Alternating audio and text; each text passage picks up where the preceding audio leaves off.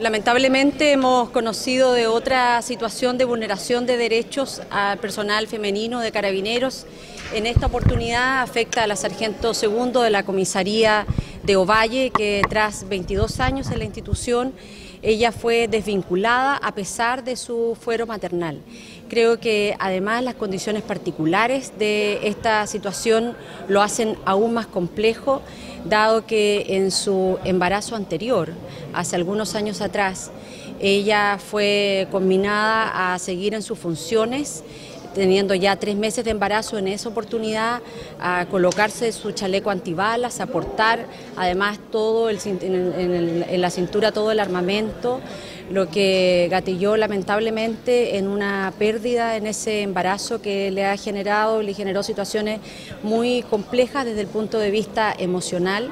y que luego de estar en esa etapa de superarlo tiene nuevamente un nuevo embarazo y, la institución decide desvincularla, lo cual eh, para nosotros desde la democracia cristiana hemos oficiado al alto mando de manera de que pueda explicar por qué en esta oportunidad se hace una vulneración de un derecho que está consagrado para todas las mujeres trabajadoras, sean estas del sector público o privado de las Fuerzas Armadas.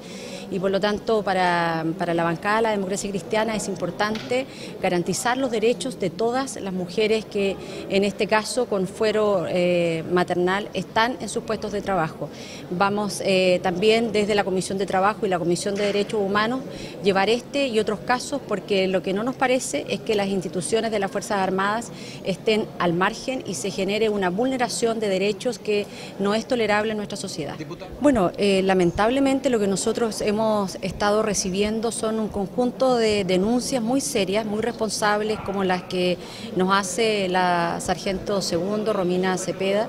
porque mm, ella es una persona que ha tenido claramente una eh, vocación en, esta, en esta tarea, lleva 22 años en la institución y, nos parece que, mm, que hoy día